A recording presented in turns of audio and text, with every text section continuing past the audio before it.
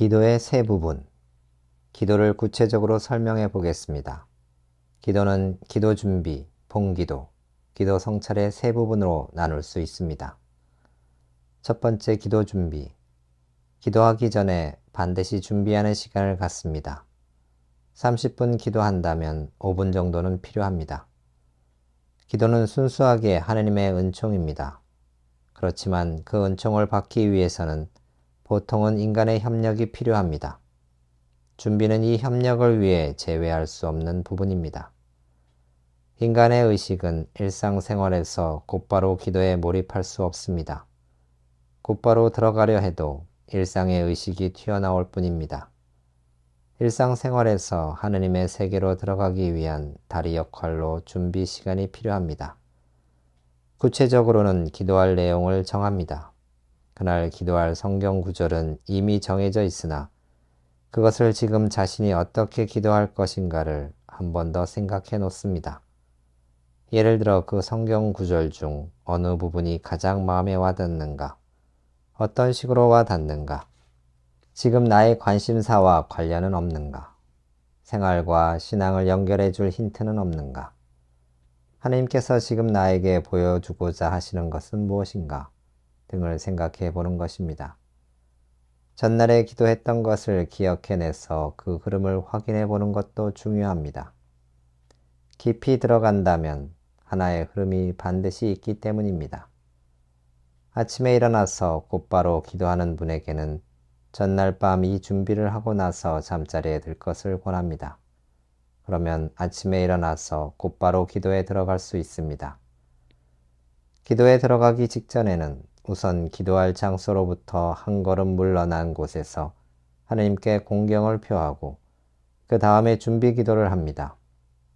그것에 따라 거룩한 장소에 들어가기에 합당한 마음의 준비를 하는 것입니다.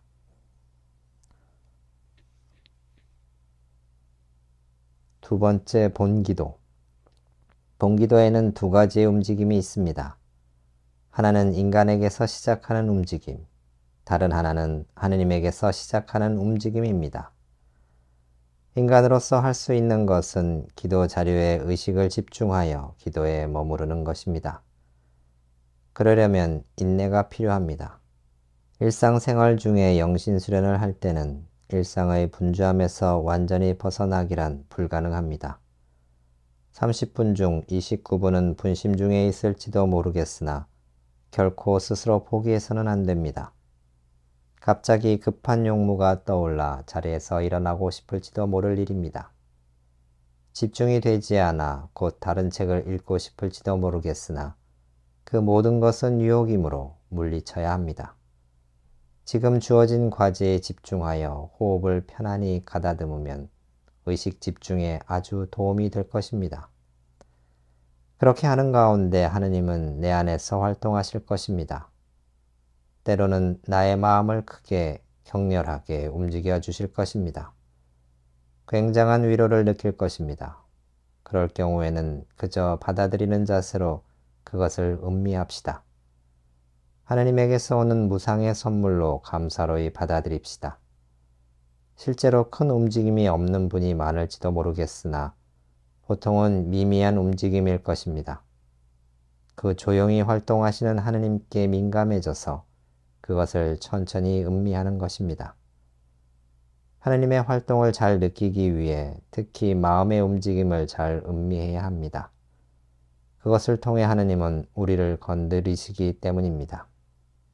물론 하느님은 인간의 의지와 이성을 통해서도 활동하시나 마음의 움직임이 가장 느끼기 쉽습니다. 그 때문에 기도할 때에는 특히 마음의 움직임에 맞들이고 그것으로부터 하느님의 활동을 느낄 수 있도록 노력합니다.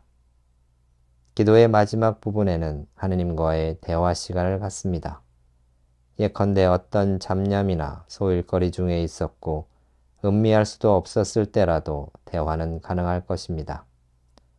잘 해내지 못한 그 자체를 하느님께 말씀드리면 되니까요. 그리고 하느님의 응답이나 반응을 들으려는 자세로 기도를 마칩니다. 세 번째 기도 성찰.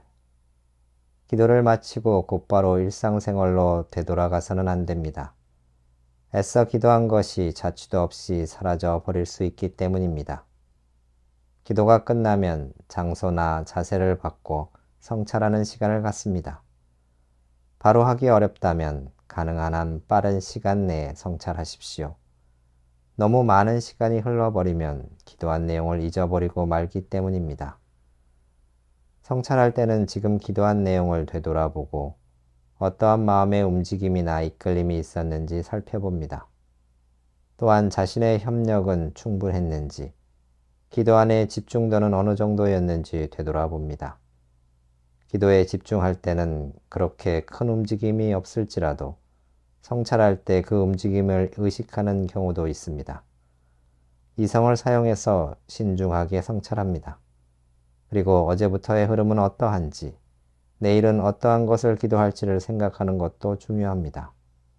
또한 기도의 열매를 오늘이나 내일의 생활 중에 어떻게 실현할 것인가 되돌아 봅니다.